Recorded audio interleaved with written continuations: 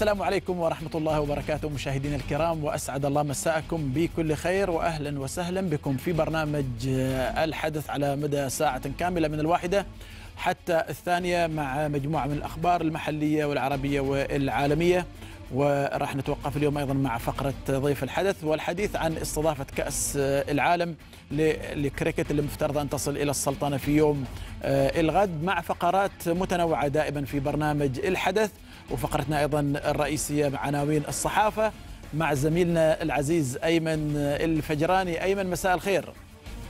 مساء الخير أبو تركي وتحية لك ولكل المشاهدين الاحبه من يتابعنا بكل تأكيد عبر برنامج الحدث. وكما أيضا عودناكم بكل تأكيد في هذه الفقرة. نحاول أن نسلط الضوء على مختلف العناوين سواء كان من الصحافة المحلية من الصحافة العربية وأيضا من الصحافة العالمية. وبإذن الله تعالى سيكون أبو تركي الحديث في الصحافة المحلية.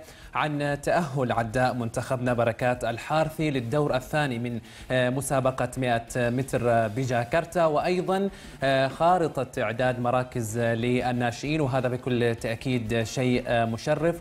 وأخرى أيضا من العناوين العربية والعالمية في فقرة الصحافة. إن شاء الله إن شاء الله أيمن راح نرجع لك أكيد في قادم الوقت. هذه إذا كانت أبرز أو يعني مختصر كذا لعناوين الصحافة أما عناوين الحدث اليوم.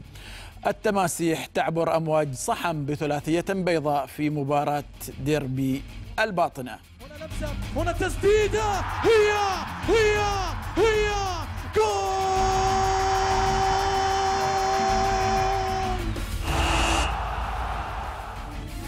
الزعيم يواجه عفاريت مرباط والسويق في ضيافة النهضة وفارس العاصمة مسقط يواجه الجار نادي عمان. الثالث العلوي يحاول أوه. وريال مدريد يحل ضيفا ثقيلا على جيرونا في رحلة البحث عن العلامة الكاملة.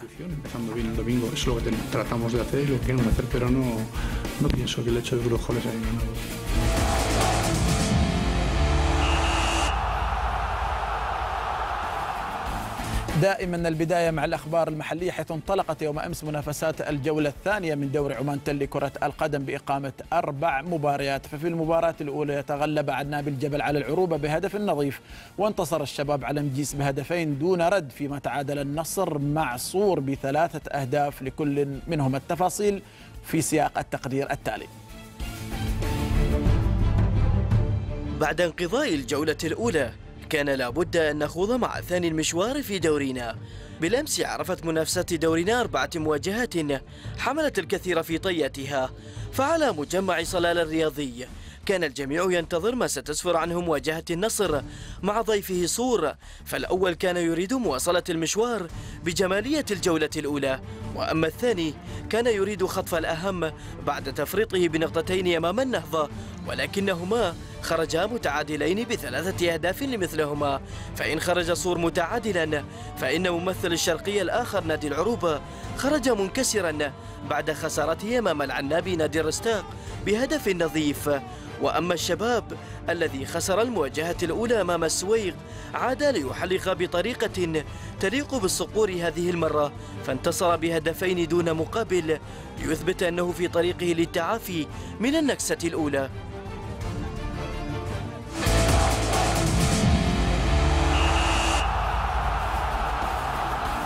وفي ديربي الباطنة ديربي الجنون والمتعة عبرت التماسيح بنجاح أمواج صحم بعد أن فرضت هيبتها بالفوز بثلاثية بيضاء كاملة الدسم.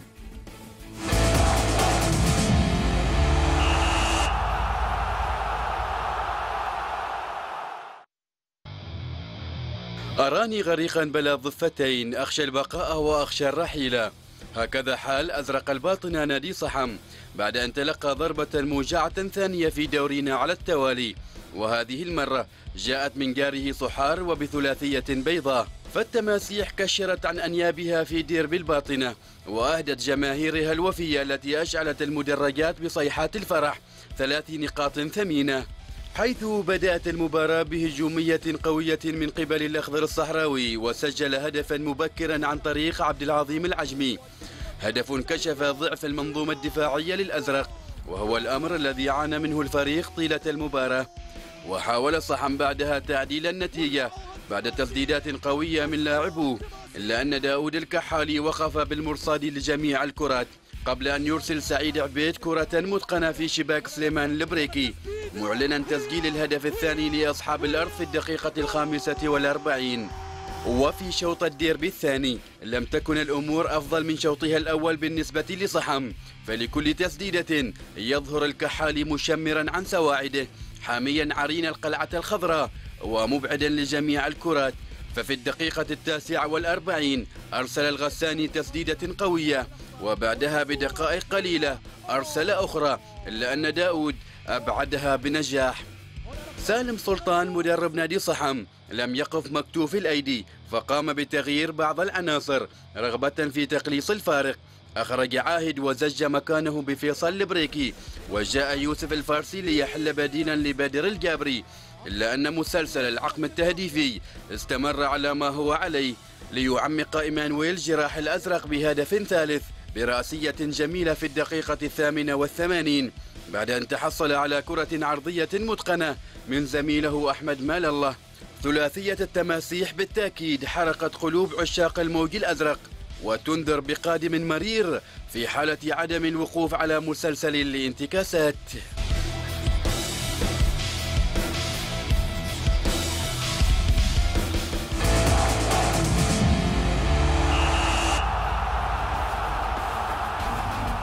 تستكمل مساء اليوم باقي لقاءات الجولة الثانية من دوري عمان تل للموسم 2018-2019 وذلك حين يلتقي ظفار بجارهم رباط في موقعة حامية الوطيس فيما سيحل السويق ضيفا على النهضة في حين يستقبل فارس العاصمة مسقط شقيقه نادي عمان. ستتحقق كل أحلامك إذا كنت تملك الشجاعة لمطاردتها. فها هي فرق دورينا تطارد النقاط الثلاث سواء كانوا يلعبون في الديار أم يتنافسون خارج أراضيهم.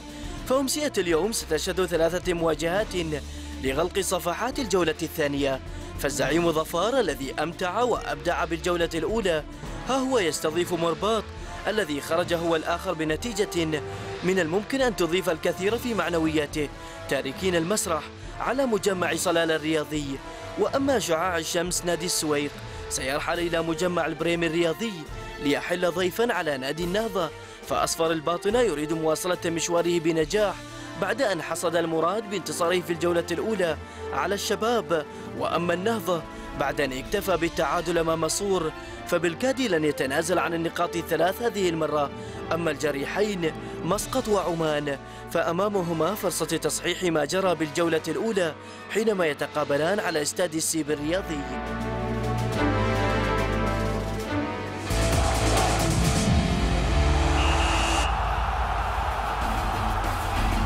انطلقت مساء أمس الجولة الأولى من دوري الدرجة الأولى لكرة القدم بإقامة ثلاثة مباريات حيث نجح نادي الوسطى الصاعد حديثا لدوري الدرجة الأولى من الفوز على نادي جعلان بهدفين لهدف وتغلب نادي السلام العائد للدوري بعد هبوطه من دوري عمان تل على سمائل بهدف دون رد وفي المباراة الثالثة خيم التعادل السلبي على مباراة فنجاء أمام ضيفه نادي نزوه وودع أو عفوا ودع منتخبنا الوطني لكرة الطائرة الشاطئية الأول منافسات دورة الألعاب الآسيوية الثامنة عشر وذلك بعد الخسارة أمام المنتخب الأندونيسي صاحب الضيافة حيث خسر المنتخب أمام صاحب الضيافة بشوطين دون رد ليغادر المنافسات من دور الثمانية. وكان الفريق الثاني للمنتخب الوطني لكرة الطائرة الشاطئية قد ودع المنافسات من دور الستة عشر أمام المنتخب الصيني المصنف الثالث آسيويا بشوطين مقابل شوط واحد. تأهل عداء المنتخب الوطني بركات الحارثي إلى الدور الثاني من مسابقة 100 متر في جولة التصفيات الأولى التي أقيمت اليوم على الاستاد الرئيسي في المدينة الرياضية بجاكرتا. وحقق بركات زمنه وقدره 10 ثواني فاصل 21 محتلا المركز الثاني في مجموعته فيما جاء ترتيبه العام على حسب قائمة المشاركين في المركز الخامس. وحصل على المركز الأول العداء يونغ من الصين تايبي فيما خرج العداء الجديد في صفوف المنتخب آه، من منافسات آه، الجولة آه، الأولى من التصفيات بعد أن احتل المركز السادس في ترتيب مجموعته.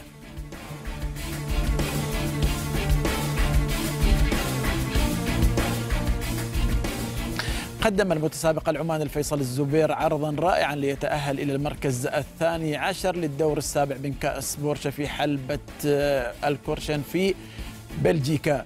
وفي الوقت الذي سجل فيه العماني الموهوب أفضل لفة في دقيقتين و23 ثانية في مرحلة التصفيات سجل المتسابق العماني الآخر خالد لوهيبي أفضل توقيت له في السباق ليتأهل للسباق الرئيسي الذي سيقام اليوم الأحد في في الخانة رقم 25 ويطمح المتسابقان العمانيان إلى تحسين مراكزهما في السباق الرئيسي ومحاولة الاقتراب من أبطال الصدارة.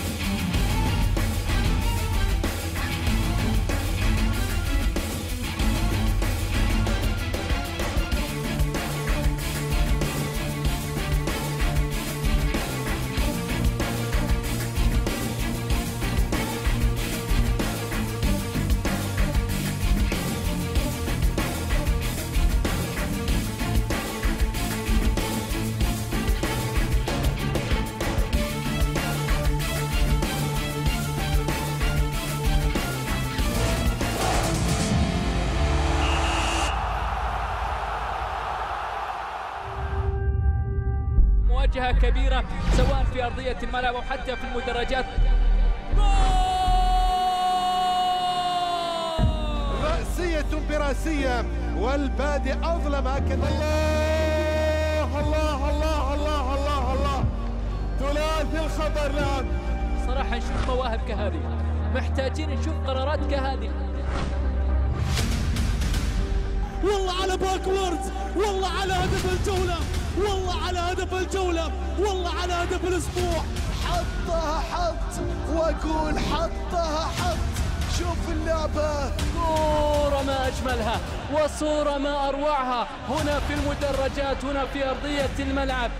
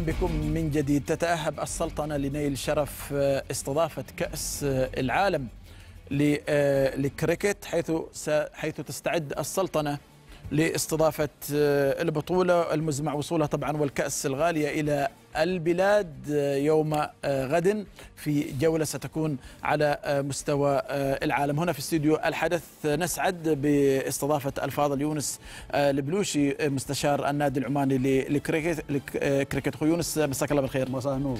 يا أهلا وسهلا فيك. وسعيدين بوجودك معنا في استوديو الحدث. وأكيد الحدث الأبرز بالنسبة لكم في يوم الغد انتظار كأس العالم وزيارته طبعا للسلطنة. إي نعم إن شاء الله يوم غد حدث غير حدث استثنائي بالنسبة لعالم الرياضة في السلطنة بانطلاقة جولة كأس العالم من مسقط نعم. العامرة ومن مكتب معالي آه، الشيخ آه، وزير, وزير الرياضية. ومن ثم إلى ساحه قصر قصر العلم العامر إن شاء الله ومن إلى المعالم آه، الكبرى آه، في محافظة مسقط. محافظة مسقط. متى الوصول بالتحديد إن شاء الله راح تكون آه؟ صباح غد. نعم. آه، الوصول من المطار إن شاء الله. نستطيع أن نستلم الكأس إلى مكتب مع الوزير ومن ثم إلى مسقط. نعم. جولة راح تكون. جولة نعم على الطريق البحري على متحف آه، من انطلاقة الق- القصر المتحف الوطني. نعم.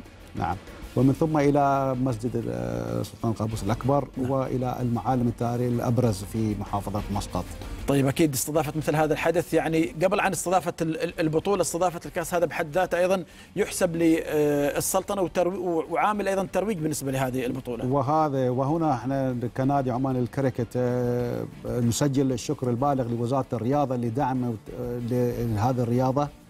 واللي ازدهرت يعني اليوم الحمد لله وصارت آه، هذه الرياضة أو صارت آه، سلطنة في آه، من الدول أو في المشارك في المحافل العالمية الأبرز في في هذا في هذه الرياضة نعم اذا بالنسبة للكاس قلت لي تبدأ الجوله من من السلطنة وبعد ذلك يعني الدول اللي هي في نفس الفئة الفئات الدول نفس الفئة ومن ثم نعم. نعم. الدول المشاركة في تصفيات كاس العالم كأس العالم. من مسقط إلى سنغافورة إن شاء الله إلى سنغافورة لكن الانطلاقه اللي بتكون من مسقط هنا البداية وبعد ذلك راح يرجع ترجع لي في وقت البطولة الكاس نعم, نعم. نعم ومن ثم من آه، بعد الجوله تستضيف ال- آه، الأكاديمية العمانيه للعبه الكركت في ولاية العامرات. نعم. الكأس والجماهير المحبة لهذه الرياضة. آه، إن شاء الله بيكون لنا لقاء في وفعاليات كبرى نعم. لهذا الكأس في أكاديمية العامرات أكاديمية عمان للعبة الكركت في ولاية العامرات. في العامرات. طيب أكيد. وبحضور معالي الشيخ وزير الرياضة ومحبي هذه اللعبة إن شاء الله. أكيد النادي العماني للكريكت كان لكم دور كبير في مسألة استضافة هذه البطولة اللي لأول مرة بالنسبة للشرق ال- الأوسط. كيف تمت الترتيبات وشو الأشياء اللي ساهمت في استضافة هذا الحدث؟ آه، ساهمت آه، لاستضافة أو لاختيار مسقط لهذا الحدث هي آه، النتائج الباهرة آه، اللي آه، النتائج اللي. حققتها ها- في هذا المجال نادي عمان للكريكت بمنتخبات نعم. آه، وطنية اللي شاركت في تصفيات آه، آه، المرحلة الثالثة وأيضا وصلت إلى المرحلة الثانية. ومن هذا المنطلق انه تم اختيار آه، مسقط. نعم. صحيح مسقط بدأت في هذه اللعبة في فترة قصيرة لكن إنجازاتها كانت كبيرة. نعم كيف بالنسبة لنادي نادي العمان للكريكت؟ نتعرف على أهم المسابقات والمنافسات المنافسات واستغلال أيضا وجود جاليات طبعا آسيوية يعني تفضل دائما مثل هذه الرياضة. صحيح. هذه الجاليات الكاريبي وشرق آسيا وغرب أوروبا هي نعم. محبة لهذه أكثر، الرياضة. نعم، صحيح. أي نعم. لكن اللي ما يثلج الصدر إن عندنا شبابنا آه، مشاركين ومحبين وأيضا آه، لهم آه، وجود قوي في هذه اللعبة. وهناك عندنا فرق من شبابنا المحليين يعني نعم. ممتاز. اللي هم بارزين في هذه اللعبة. والفرق المشاركة الأخرى اللي بتشارك في الدوري السنوي لنادي عماني للكريكت هي مشروطة عليها آه، وجود عناصر وطنية في الفريق في الفريق اي نعم. لترويج اللعبة مهم. ولكن الحمد لله ما تم تحقيقها مذهل يعني لهذه في هذه الفترة القصيرة نعم من وجود آه، شبابنا أيضا آه، أذكرك يعني إحنا. عندنا أيضا من الجنسين الفرق رياضية آه، رجال ونساء يعني. نعم وفئات عمرية أيضا. ممتاز. اي وهذا شيء يعني أكيد الفئات العمرية للمستقبل يعني وإعدادهم وتحضيرهم بشكل أكيد، بشكل بشكل جيد. أكيد. بالنسبة للمنتخب تحضيراته خاصة ان إحنا راح نستضيف البطولة هنا أيضا كأس العالم راح تكون شهر 11 بالنسبة للفئة آه، الثالثة الإعداد والتحضير أكيد يعني محتاج يعني عمل كبير. تحدثنا عن برنامج التحضير للبطولة. قال والله النادي العماني وبوجود دعم كبير من وزارة الرياضة نعم. عاملين بتفاني بتحقيق هذا وبنكون إن شاء الله واللي اللي يثلج الصدر إن المجلس العالمي للكريكت في زيارتهم الأخيرة لأكاديمية الكريكت في ولاية العامرات. انبهروا بالإنجاز هذا. نعم. انبهروا. والله هذا مثل ما إذا تقول البطولة راح تكون في العامرات. في العامرات نعم, نعم. يعني نعم. الملاعب والأمور مهيئة. من أرقى الملاعب العالمية على مستوى العالم. يعني نعم. عندنا عندنا ملعبين الحمد لله في الأكاديمية على مستوى عالي من آه، الإمكانيات الاستضافه لأن استضافات مثل هذه بتكون تحت أضواء كاشفة لمحبين الع... الكرة في الرياضة هذه في العالم. في العالم في العالم ككل. ككل نعم, نعم, نعم صحيح. المجلس العالمي كيف أيضا مسألة ال- الأشياء اللي ممكن يقدمها في مسألة ال- الاستضافة؟ أم أن السلطنة هي تتكفل ب يعني كل الأمور اللوجستية الخاصة بالبطولة؟ وهي مشاركة مشتركة يعني. مشتركة أيضا دعمهم ال- الفني بيكون نعم. موجود عندهم إن شاء الله. طيب بالنسبة للاستعدادات الأخرى يا ريت تحدثنا عنها أيضا آه، أخو يونس بالنسبة لي آه، عدد المنتخبات اللي راح آه، تشارك مسألة نعم. الإقامة والمسألة يعني الاعاشه وهذه الأمور اللوجستية اللي دائما مهمة في هاي مشتركة. بينه وبين المجلس الأعلى من المجلس العالمي للكريكت. والمجلس والاتحاد الآسيوي لأن إحنا تحت مظلة الاتحاد الاتحاد الآسيوي الآسيوي نعم يعني في تعاون في وتنسيق بينكم. تعاون جميل كبير. ودعم كبير من وزارة الشؤون الرياضية هناك ست منتخبات بتكون مشاركة. عندنا بتكون كينيا واوغندا الدنمارك الولايات المتحدة الأمريكية سلطنة عمان و سادسه الولايات المتحدة راح تكون موجودة. نعم نعم الدنمارك والولايات المتحدة نعم. والدنمارك و... أوغندا وكينيا وسلطنة عمان نعم. في دوله سادسه مع طيب يعني نعم. اذا راح تكون ال- ال- نظام التنافس راح يكون بالنسبة كمجموعة أو بالنسبة لخروج المهزومة وكيف بالضبط خلينا شوي نتعرف أكثر على أكيد أكيد أكيد مسألة احتساب النقاط هذه وغيرها. تكون في نهائيات نعم. آه بتكون آه آخر شيء مجموعة بس بتكون في مجموعات ثم آه نوك أوت آخر آه آه نعم. نعم بالنسبة لخروج المهزوم أيوه آه، جانب التسويق والرعاية يمكن هذا دائما انت ذكرت الدعم الكبير المقدم من وزارة الشؤون الرياضية لكن مثل هذه الأحداث عادة يعني هناك رعاية تسويق تغطية يعني مثل هذه المنافسات الرياضية. هل قمتم ب يعني أو تحدثنا عن هذا ال- الجانب وهل من رعاية بالنسبة للقطاع الخاص وغيرهم؟ إحنا اللي نشكر القطاع الخاص. نعم. آه، في كل المجالات أيضا كان له دور كبير في رعاية آه، المنافسات هذه. المنافسات. أيضا مم. مشاركاتنا العالمية كانت أيضا تحت رعايات من القطاع من الخاص. القطاع الخاص، نعم. ممتاز. وإحنا نشكر آه، شركة عمان- العمانيه للاتصالات عمان تل عمان يعني تل. من أروع يعني راعي رئيسي يعتبر. الرئيس نعم. إذا ما قلنا ذهب يعني. ذهبي. طيب بالنسبة لي اليوم يعني بكرة قلت لي الصباح الاستلام يعني تستقبلوا الكاس من المطار بعد ذلك لوزاره الشؤون الرياضية وتاخذوا جولة طبعا أكيد حافلة مكشوفة وكذا ولا كيف؟ نعم نعم يعني على الجمهور عربة أو اللي- معتمدة من اتحاد مجلس الع- الكركت العالمي نعم. للكريكت آه، تحت رعاية آه، نيسان وتكون بالجولة بهذه ال- العربة المكشوفة ال four wheel نعم أي من من انطلاقا من مكتب معالي الوزير إلى قصر العالم العامر ومن ثم المراكز المهمة في السلطنة وبعد ذلك آه، تكون آه، الاستقبال في اتحاد آه، أكاديمية أكاديمية ال- العامرات نعم العامرات نعم. ومن ثم إحنا عندنا فعاليات أخرى بعد غد أيضا. في افينيوز يكون إن شاء الله من آه، كترويج للبطولة وكذا يعني نعم كترويج كبث مباشر نعم. كتسجيل ككامل إن شاء الله يكون يعني يمكن أيضا نشكر نعم، فرق. آه، الموسيقية اللي بتكون بتشاركنا بالاحتفالات والخياله السلطانية والشرطة عمان السلطانية آه، البحرية العمانية بيكون كلهم إن شاء الله داعمين لهذا الم- نعم. الحدث يعني يمكن الكثير يربط آه، السياحة بالرياضة. يعني أنت يمكن حتى الجولة راح تزور معالم مسقط. حتى الوفود تصور في شهر 11 راح تكون لها أيضا برامج معينة في مسألة زيارة بعض الأماكن السياحية. يعني اللي دائما ما تكون حاضره في مثل هذه المناسبات صحيح صحيح وإحنا بنشوف عد عديتوا برنامج أكيد إحنا عدينا برنامج وإن شاء الله هذه الجولة جولة الكأس بكرة بتروج عن آه،. مواقع جي تعطي زخم. وتعطي نعم ترويج كبير. عن خاصه محافظة مسقط يعني ومن ثم في استضافتنا إن شاء الله في نوفمبر يكون ترويج للسلطنة بشكل عام على مستوى العالم ال- بنكون تحت أضواء مباشرة نعم. لها كل هذه الدول اللي. بتكون بتشاهد هذه البطولة راح يكون.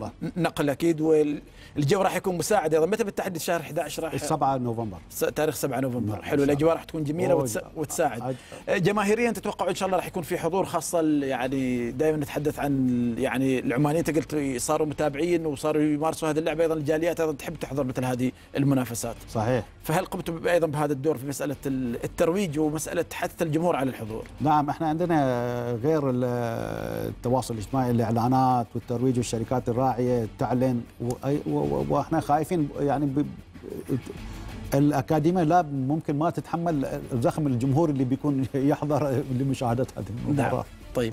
الاستضافة راح تكون قلت لي الفئة الثالثة. نعم. يعني منتخبات مثل الهند وباكستان تصور هم في نعم. الفئة الأولى. الأولى. الفئة الأولى. نعم. ودائما ما يتنافسوا طبعا على هذه البطولة. وإحنا قلنا قاب قوسين وأدنى نكون بالفئة الثانية حتى نجي وإن شاء الله قريب يعني. يلا نتمنى لكم كل التوفيق. الفاضل يونس البلوشي مستشار النادي العماني للكريكت.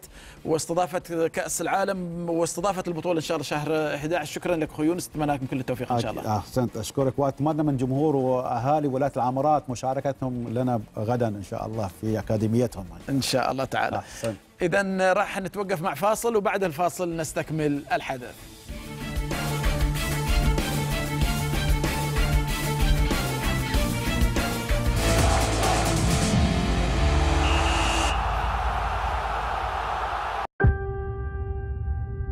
مواجهة كبيرة سواء في أرضية الملعب أو حتى في المدرجات.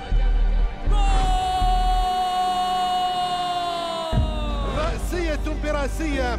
والبادئ أظلم هكذا الله الله الله الله الله الله. ثلاثي الخطر الآن.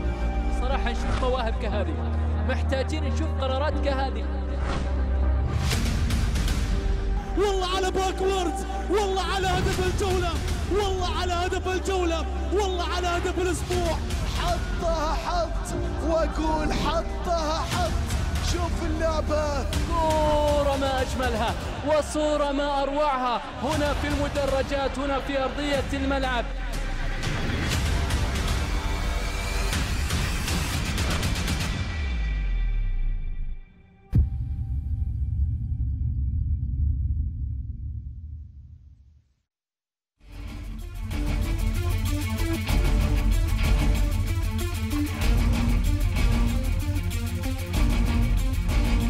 نبدأ جولتنا العالمية من إسبانيا حيث حقق فريق برشلونة فوزا صعبا خارج الديار عندما عاد من ملعب بلد الوليد بثلاث نقاط ثمينة.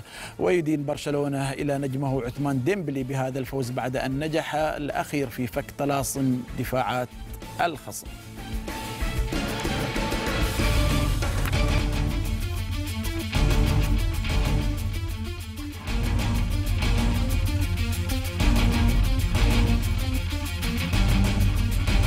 ديمبلي واصل التألق. بعد أن حسم طبعا مباراة السوبر سجل بالأمس هدف أهدى النقاط الثلاث لحامل لقب الدوري الإسباني. تشتت عشاق المستديرة ليلة الأمس في متابعة مباريات فرقهم المفضلة حيث شهدت جولة بطولات الدوري العالمية زخما كبيرا بالنسبة لعدد المباريات وأهميتها. وهنا نأخذكم بجولة مختصرة لمتابعة أبرز مباريات الدوري الهولندي والبرتغالي واليوناني. في ليلة شهدت الكثير من الأحداث المثيرة في مختلف الدوريات الأوروبية حيث شهد ملعب يوهان كرويف فوزا كبيرا لفريق أياكس أمستردام الهولندي على نظيره إيمين الصاعد حديثا للأضواء. ولم ينتظر أياكس طويلا فسدد مهاجم المغربي حكيم زياتش قذيفة من حافة المنطقة. وضاعف كلاس يان هونتلر تفوق أياكس في الدقيقة الثامنة والثلاثين إثر تمريرة من المغربي زياتش ولم يتوقف الهولندي هونتلر عند ذلك بل سجل هدفه الثاني وأحرز دوسان تاديتش رابع أهداف أياكس وأضاف جرين بيل بطريق الخطأ في شباك فريقه الهدف الخامس. لكن هذا الانتصار لم يمنح أياكس صدارة الدوري والتي تشبث بها نظيره أيندهوفن الذي بدوره حقق نصرا خارج الديار على زيفولي. وكانت بداية اللقاء لأصحاب الأرض إلا أن الحارس يورون زويت كان بالمرصاد. وأثمرت ضغوط أيندهوفن عن هدف السبق بإمضاء لوك دي يونغ. ونجح زيفولي في إدراك التعادل بتسديدة قوية من فيتو فان كروي. لكن ايندهوفن رفض تسليم الصدارة لأياكس. ففي الوقت بدل الضائع سجل لوك دي يونغ هدف الفوز الثمين. وإلى الدوري البرتغالي حيث نجا فريق بنفيكا من خسارة محققة ليكتفي بنقطة التعادل أمام ضيف سبورتنج لشبونة الذي افتتح التسجيل من نقطة الجزاء عن طريق قائد إخوان ناني. لكن البديل جواو أنقذ صاحب الأرض بعد أن نجح في تسجيل هدف التعادل. ولم يستغل بورتو تعثر غريمه فسقط على أرضه أمام فيتوريا جيماريتش. وذلك رغم أن المبادرة كانت له بهدف رائع. سجله نجم الفريق الجزائري ياسين براهيمي. وضاعف أندري بيريرا تفوق بورتو ليضع صاحب الأرض في مركز قوي للفوز باللقاء. لكن الضيف لم يستسلم فسجل أندريه من ضربة جزاء أول أهداف جيماريتش. وأدرك جيماريتش التعادل بتسديدة من توزي إثر تمريرة من فلوران هانن. وجاءت الضربة القاضية بهدف الفوز لجيماريتش بهدف دافيدسون ونختم جولتنا مع الدوري اليوناني. فقد استضاف باوك سالونيكي فريق إستيراس تريبولي وانتهى اللقاء لصالح باوك بهدف سجله الكسندر بيتروفيتش من نقطة الجزاء في أولى مباريات الدوري اليوناني لهذا الموسم.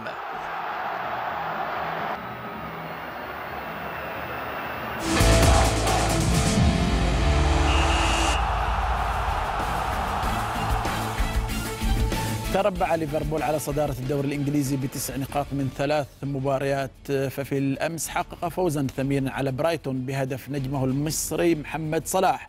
هذا الفوز يراه يورجن كلوب هاما في المحافظة على ثقافة الفوز وهذا ما أكده في المؤتمر الصحفي. لعبنا في الشوط الأول بالطريقة التي يجب أن نلعب بها. لعبنا بتأني في اللحظات الصحيحة وتناقلنا الكرة. وحافظنا على تشكيلتنا. وهيأنا الفرص ثم سجلنا هدفا. وكان بوسعنا تسجيل المزيد من الأهداف.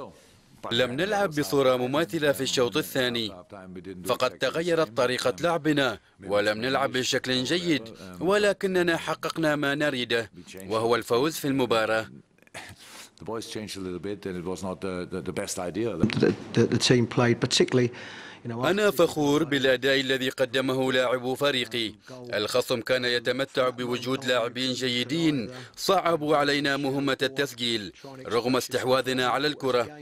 وقمنا بشن عدة هجمات خطرة ولكنني أشعر بخيبة أمل للهدف الضعيف الذي تلقته شباكنا.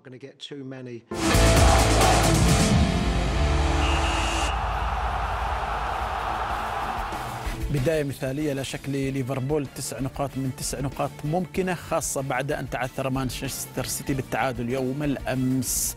أنهى ريال مدريد تحضيراته للمواجهة المنتظرة أمام جيرونا وكله أمل في أن يحقق فوزه الثاني بعد أن تغلب على ختافي بهدفين نظيفين في الجولة الماضية. مدرب ريال مدريد لوبتيجي يضع لكل مباراة أمام كل فريق يواجهه النادي الملكي نفس الوزن على اعتبار أن كل مباراة مصيرية ويصر المدرب على أن كامل تركيزه على المباراة إذ لا يهمه اقتراب إغلاق سوق الانتقالات بقدر ما يركز على أداء الفريق الممتاز. وبعد غياب كريستيانو رونالدو عن الفريق يبقى السؤال هو من سيحرز ما معدله خمسون هدفا للفريق في الموسم الواحد؟ لكن لوبتيجي يرى ألا بديل لرونالدو على الفريق أن يملأ هذا الفراغ كمجموعة على حد تعبيره.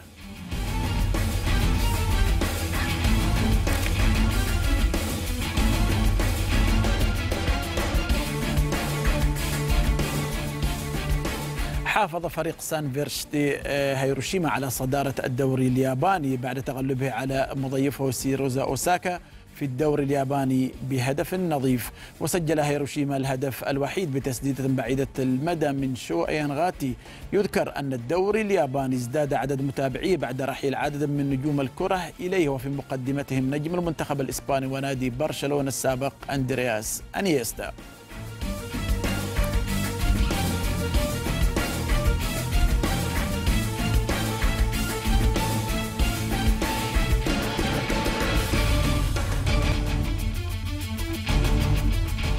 انفرد اللاعب الأمريكي برايسون دي شامبو بصدارة بطولة نيو جيرسي للجولف بعد ختام الجولة الثالثة.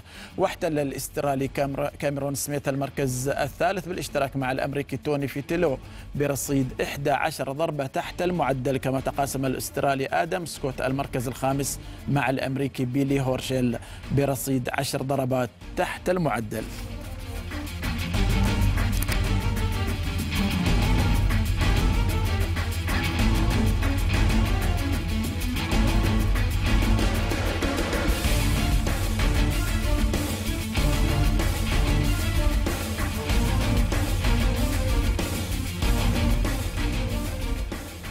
عوض السلوفيني ماتج موهيريتش خسارته يوم أمس بفوزه اليوم في المرحلة الثالثة من طواف ألمانيا للدراجات الهوائية.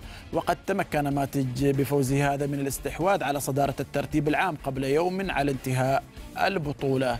ومرة أخرى لم يدرج اسم حامل لقب طواف فرنسا دراج ويلز جيرانت توماس ضمن أول عشرة طوافين وهو بعيد عن الفوز باللقب الألماني وأنهى ماتج الطواف الممتد على مسافة 177 كيلو متر من ترير إلى ميرزيتش في خلال أربع ساعات و12 دقيقة و28 جزءا من الثانية. وجاء الألماني آه، بوليت في المركز الثاني يليه البلجيكي آه، بيتر فالسبورغ ثالثا.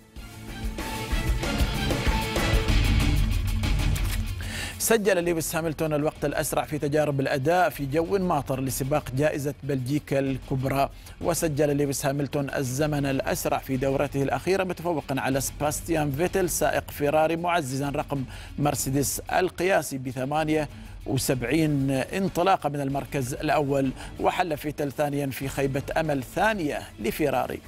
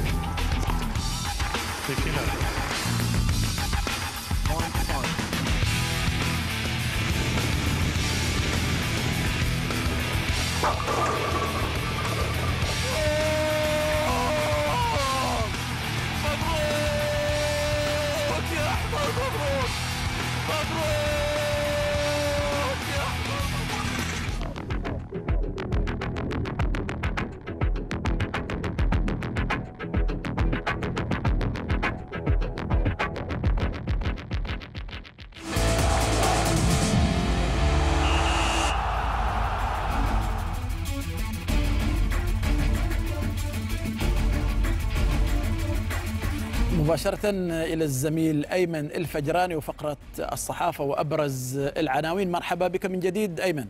تحية لك أبو تركي وتحية لكل المشاهدين الأحبة ومن جديد بكل تأكيد في برنامج الحدث. ومع هذا التوقيت الخاص بفقرة الصحافة سنتطرق بكل تأكيد مثل ما أسلفنا للعديد من العناوين المحلية والعربية والعالمية. بداية مشاهدينا في أروقة الصحافة المحلية سنتطرق للحديث عن تأهل عداء منتخبنا بركات الحارثي للدور الثاني من مسابقة 100 متر في جولة التصفيات الأولى بجاكرتا. وأيضا الحديث عن الشؤون الرياضية وخارطة إعداد مراكز للناشئين وهذا بكل تأكيد خبر مشرف لقاعدة الناشئين بالسلطنة. الحديث أيضا عن تتويج تتويج الوحدة بكأس السوبر السوبر الإماراتي بفوزه بركلات الترجيح على العين وعالميا سنعرج الحديث عن ريمونتادا نابولي جديدة على حساب ميلان وحصده لثلاث نقاط غالية. نقص شريط جولتنا في عالم الصحافة من أخبار تأهل عداء منتخبنا بركات الحارثي إلى الدور الثاني من مسابقة 100 متر في جولة التصفيات الأولى التي أقيمت أمس على الاستاد الرئيسي بالمدينة الرياضية بجاكرتا ضمن منافسات دورة الألعاب الآسيوية الثامنة عشر. صحفنا المحلية أبرزت تألق الحارثي لتخرج صحيفة الوطن بعنوان قالت فيه بركات الحارثي يتأهل إلى الدور الثاني لسباق 100 متر حيث حقق بركات رقما أو زمنا قدره 10 ثواني و21 جزء من الثانية محتلا المركز الثاني في مجموعته فيما جاء ترتيبه في العام على حسب قائمة المشاركين في المركز الخامس وخرج العداء الجديد جديد في صفوف المنتخب فاتك عوض من منافسات الجولة الأولى من التصفيات بعد أن احتل المركز السادس في ترتيب مجموعته برقم وقدره 10 ثواني و85 جزءا من الثانية. نبقى أيضا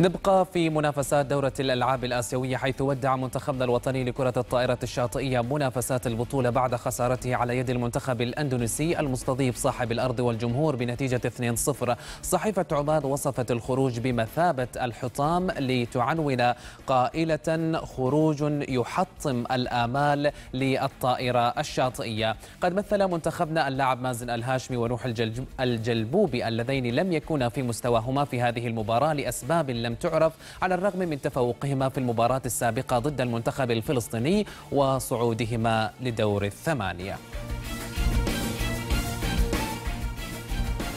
إلى أروقة صحيفة الشبيبة والتي علمت من مصادر مقربة من المنتخب الوطني الأول لكرة القدم بأن قائمة الأحمر ستشهد استدعاء أسماء جديدة وذلك خلال المعسكر الإعدادي الذي ينطلق في الحادي والثلاثين من أغسطس قبل يوم واحد من السفر إلى معسكره الخارجي في الأردن والذي يستمر حتى الثاني عشر من سبتمبر والذي سيخوض فيهما المنتخب لقاءين وديين أمام منتخب لبنان في التاسع من سبتمبر والمنتخب الأردني أيضا في الحادي عشر من سبتمبر المقبل. خرجت الصحيفة بعنوان قالت فيه أسماء أو أسماء جديدة على طاولة فيربك ذكر المصدر بأن القائمة ستشهد إضافة أسماء جديدة إلى قائمة المنتخب إضافة إلى عودة قائد المنتخب علي الحبسي حامي عرين نادي الهلال السعودي الذي يعود ليرتدي شارة قيادة الأحمر خلال المرحلة المقبلة وذلك بعد غياب لفترة طويلة. تجدر الإشارة إلى أن منتخبنا وقع في مجموعة صعبة بنهائيات آسيا 2019 والتي يشارك فيها للمرة الرابعة في تاريخه إذ وقع ضمن مجموعة قوية ضمت كلا من منتخب اليابان بطل آسيا لأربع مرات والمنتخب الأوزباكستاني الذي سيشارك للمرة السابعة وهو صاحب المركز الرابع في بطولة 2011 أما المنتخب التركمانستاني آه، فيعد آه، تعد له هذه المشاركة هي الثانية.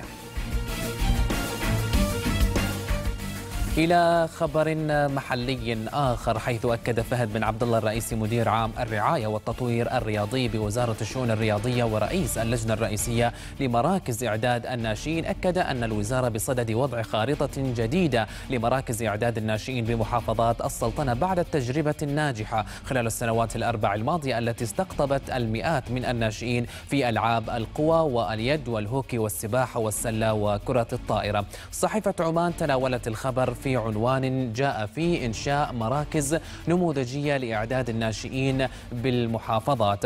وأكد الرئيس أن التفكير ينصب الآن على اختيار ثلاث محافظات لإنشاء مراكز نموذجية والتركيز عليها لاحتضان بعض الألعاب التي أكثر أو كانت أكثر نجاح في كل محافظة من الرياضات الأخرى موضحا في حديثه أن مراكز إعداد الناشئين جزء لا يتجزأ من أكاديمية السلطان قابوس لتنمية القدرات الرياضية وهي النواة الحقيقية التي من خلالها نطبق الجانب العملي في مراكز إعداد الناشئين بالإضافة إلى جانب الدراسات التي نقوم بها للاتحادات الرياضية. ومن جولتنا في الصحف المحلية إلى جولتنا في الصحافة العربية نبدأها من الإمارات العربية المتحدة. فقد احتفظ الوحدة بلقب كأس سوبر الخليج العربي بعد تفوقه على العين حامل لقبي الدوري وكأس رئيس الدولة بركلات الترجيح وبنتيجة 4-3 بعد التعادل في الوقت الأصلي 3-3 وذلك في المباراة التي أقيمت ليلة أمس على ملعب الدفاع الجوي في العاصمة المصرية القاهرة. صحيفة الاتحاد تابعت فعنونت بقولها العنابي السوبر على حساب الزعيم حيث توج الوحدة بكأس السوبر الإماراتي بفوزه بركلات الترجيح على العين بعد مباراة مثيرة شهدت عودة تاريخية للأخير من التأخر 0-3 إلى التعادل 3-3 وحسم الوحدة اللقب بركلات الترجيح دون الاحتكام إلى وقت إضافي ليتوج باللقب الرابع في تاريخه في حين فشل العين في تحقيق كأس السوبر لأول مرة. من الإمارات إلى المملكة العربية السعودية فقد تناولت الصحف هناك وصول المهاجم الفرنسي بافتيمبي جوميز المنضم حديثا لصفوف نادي الهلال السعودي إلى الرياض وخرجت الصحيفة بعنوان قالت فيه الهلال يستقبل جوميز ويبعد بن شرقي وهتفت الجماهير باسم جوميز الذي أنهت إدارة النادي التوقيع معه لمدة عامين مقبلين مع أفضلية التجديد لعام ثالث ورجح مصدر رسمي داخل الهلال الهلال إمكانية مشاركة اللاعب في لقاء الفريق أمام الفيحاء الجمعة المقبل ضمن الجولة الأولى من دوري المحترفين السعودي في ظل جاهزيته. من جهة أخرى يبدأ وكيل أعمال المغربي أشرف بن شرقي محترف فريق الهلال الأول لكرة القدم يبدأ البحث عن عروض احترافية لموكله بعد أن قررت إدارة نادي الهلال وضعه في قائمة الاستثمار. من السعودية مشاهدينا إلى قطر والتي أبرزت صحافتها وصول بعثة الفريق الأول بنادي السد إلى العاصمة الإيرانية طهران مساء أمس استعدادا لمواجهة الاستقلال الإيراني المرتقبة التي ستقام مساء يوم غد الاثنين على استاد أزادي ضمن جولة الذهاب لدور ربع النهائي لبطولة دوري أبطال آسيا 2018 صحيفة الراية تابعت في عنوان قالت فيه الزعيم وصل طهران لمواجهة الاستقلال بدوري الأبطال. وتشهد قائمة الزعيم غياب المدرب المدافع إبراهيم ماجد بعد تعرضه للإصابة بتمزق في العضلة الأمامية. هذا ومن المنتظر أن يخوض الفريق ميرانه الأخير استعدادا للمباراة مساء اليوم على استاد أزادي مستضيف اللقاء والذي سيضع خلاله البرتغالي فيريرا لمساته الأخيرة على التشكيل الذي سيخوض به اللقاء والخطة المناسبة التي تمكنه من تحقيق الفوز والعودة من إيران بنتيجة مريحة تسهل مهمته في جولة الإياب وتساعده على مواصلة المشوار بالبطولة القارية بنجاح.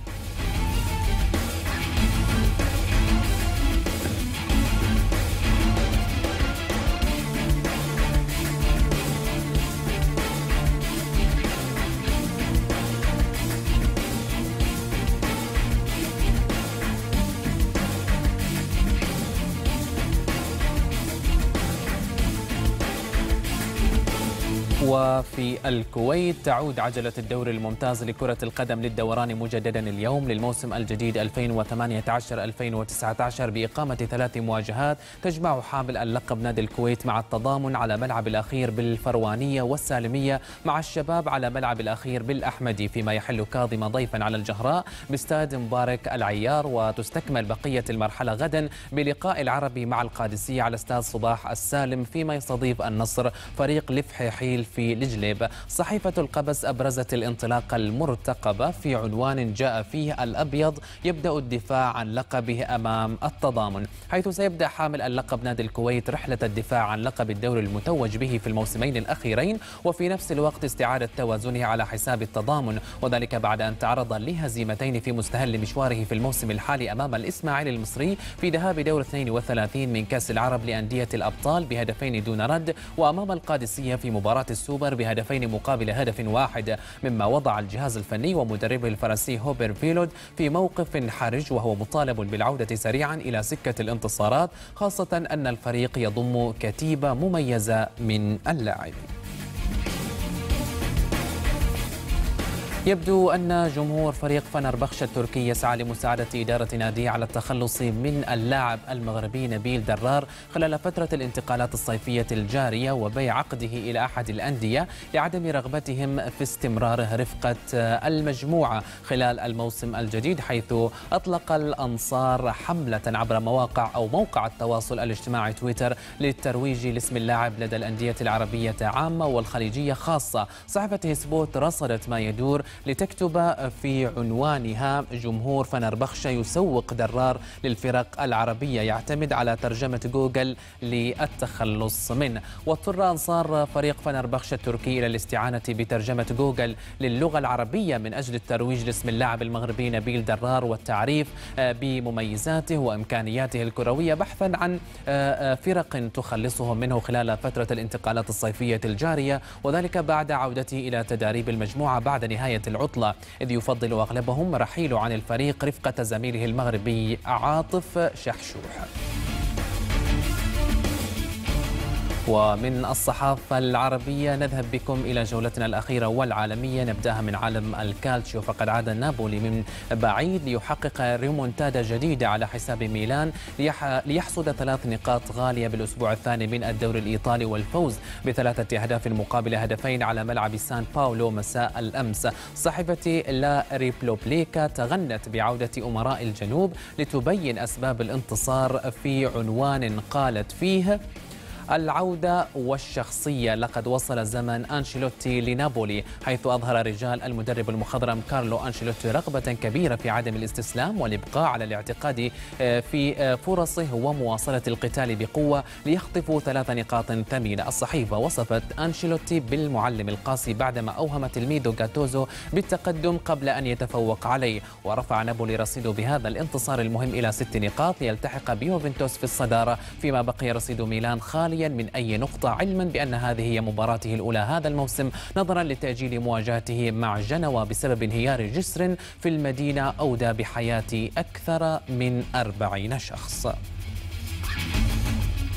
من الكالتشو إلى عالم البريمير ليج فقد قاد النجم المصري محمد صلاح فريقه ليفربول نحو صدارة الدوري بعد الفوز على برايتون بهدف دون رد في المباراة التي جمعت الفريقين مساء أمس على ملعب الآنفيل ضمن الأسبوع الثالث من منافسات الدوري الإنجليزية. صحيفة الساندي تايمز تغنت بتألق, بتألق صلاح فعنونت بقولها إنها فقط تحتاج لمحمد. وذكرت الصحيفة أن هدف النجم المصري محمد صلاح لاعب ليفربول منح الأخير صدارة الدوري الإنجليزي بعد غياب سنتين عن الصدارة. الإدارة. وأضافت الصحيفة أن هدف صلاح منح ليفربول انطلاقة قوية في الدوري بعد تحقيق الانتصار الثالث على التوالي دون استقبال أي هدف. من جانبه فجر ويلفرهامبتون مفاجأة بتعادله مع ضيفه مانشستر سيتي حامل اللقب 1-1 في افتتاح المرحلة الثالثة من الدوري الإنجليزي الممتاز. صحيفة الصن أعزت التعادل إلى الهدف المثير الذي أحرزه بولي في مرمى السيتيزنز لتخرج بعنوان قالت فيه لمسة يد. وذكرت الصحيفة أن لمسة يد صنعت الفارق فكان ذئاب ولفرهامبتون أول من يعطلون مانشستر سيتي بتعادل هذا الموسم. التعادل حرم السيتي من تحقيق ما لم يتحقق من قبل بأن يحقق حامل اللقب الفوز بأول ثلاث مباريات متتالية في الدوري. ويخرج ولفرهامبتون بتعادل جديد بعد تعادل بعد تعادل في دور الستة عشر من كأس إنجلترا في الموسم الماضي. وأخيرا مشاهدينا إلى عالم الليغا حيث حقق فريق برشلونة الإسباني فوزا صعبا على خ... صعبا على بلد الوليد خارج أرضه بواحد صفر في المباراة التي جمعتهما على ملعب خوسيه زوريلا ضمن منافسات الجولة الثانية من الدوري الإسباني. صحيفة سبورت أشارت إلى صانع انتصار البلوغرانا لتعنون بقولها الحاسم ديمبلي حيث أنقذت قذيفة الفرنسي عثمان ديمبلي فريقه برشلونة من فخ بلد الوليد ليمنح البارسا نقاط المباراة. تحدثت سبورت أيضا عن سوء أرضية الملعب الذي أقيم عليه مباراة برشلونة ضد بلد الوليد وقالت أنه بالرغم من أرضية اللعب الكارثية أو الملعب الكارثية إلى أن البرشلوني ديمبلي منح البرسا هدف الفوز. وأضافت الصحيفة أيضا أنه بعد الرجوع لتقنية الفار ألغي هدف الفريق المستضيف في الوقت بدل الضائع بدعوى التسلل.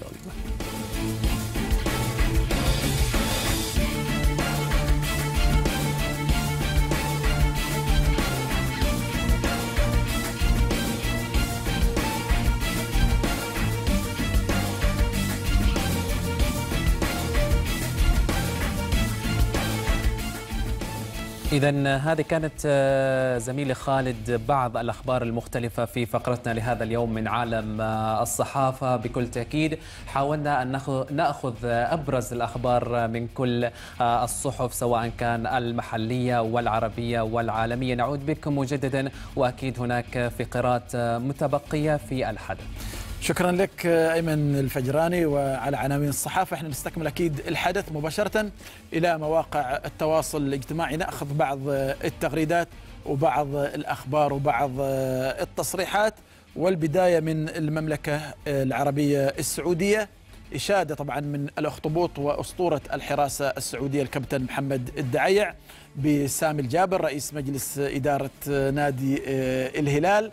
وغرد قائلا عندما يترأس نادي كالهلال رجل بعقلية أخي وزميلي سامي الجابر لاعبا أمتع السعوديين إداريا احترمه الخصوم ومدربا رغم تجربته القصيرة نجح الآن كرئيس للهلال وبعقليته نفتخر فيه. طبعا إشادة لرئيس النادي اللي بدأ طبعا كلاعب بعد ذلك تحول كمدرب وحاليا طبعا هو رئيس لمجلس إدارة نادي الهلال حتى وإن لم يحقق النجاح المذكور في مسألة في الجانب التدريبي.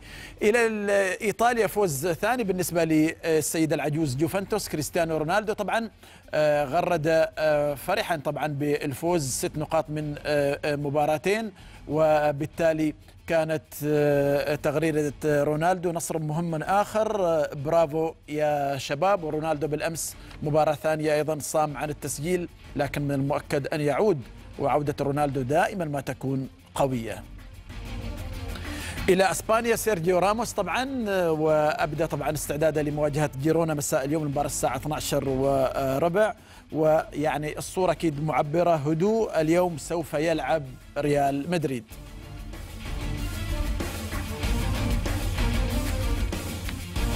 بيكيه البرشلوني وأكمل طبعا 300 مباراة بالدوري الإسباني ونشر صورة طبعا وأشار إلى الرقم 300 إلى فقرة ميلاد لاعب حيث شهد شهر أغسطس ولادة العديد من النجوم الذين سطروا تاريخا مليئا بالبطولات والإنجازات في عالم المستديرة. كولين كاظم أحد أبرز هؤلاء الذين ولدوا في مثل هذا اليوم. دعونا نتعرف عليه كاظم ريتشارد يعد أحد أشهر لاعبين كرة القدم الأتراك. ولد في عاصمة الضباب لندن في السادس والعشرين من أغسطس من عام 1986 مسيرته الاحترافية بدأت مع نادي كوينز بارك رينجرز عام 1997 وبعدها بعام واحد انتقل للعب مع نادي أرسنال. وحقق كولين كاظم عدة بطولات مع الأندية التي لعب معها ومن أبرزها لقب السوبر التركي مرتين الأولى مع نادي فنربخشة والثانية أثناء تواجده في صفوف غلطة سراي.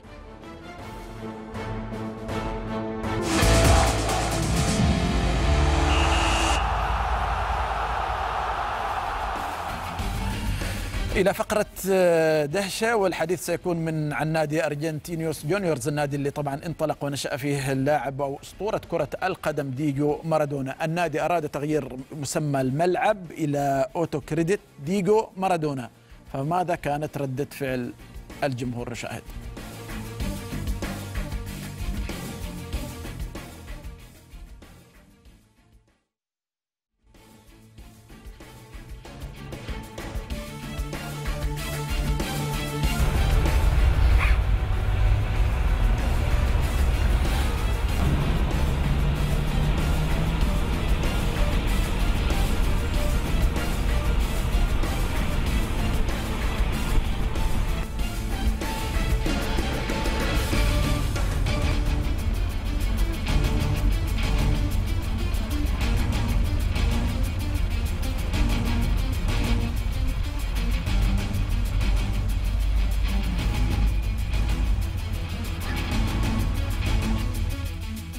نادي أرجنتينيوس جونيورز اراد تغيير الملعب طبعا إلى أوتو كريديت ديجو مارادونا لكن الجماهير رفضت وأصرت على أن يبقى اسم الملعب ملعب ديجو مارادونا في إشارة طبعا للنجم الأسطوري وأفضل من لمس كرة القدم. الجزء الأخير من الحدث اليوم كالعادة مع عدسة الحدث. نشاهد.